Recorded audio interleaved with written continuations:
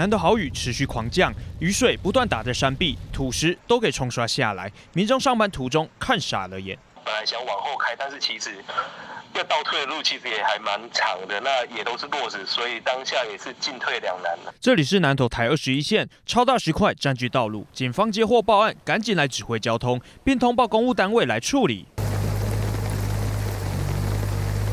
紧急调派来小山猫，把落石排除。同样土石崩落的还有庐山。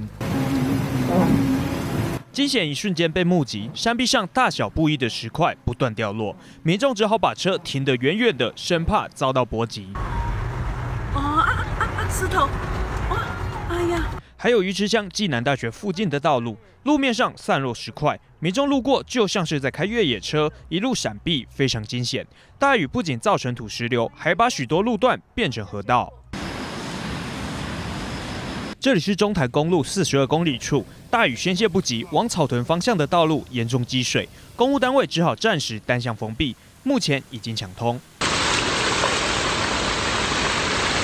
以及台十四线埔屋公路七十公里处，也同样因为大雨，整个山路汪洋一片。另外，因为大雨导致溪水暴涨，也传出人员受困。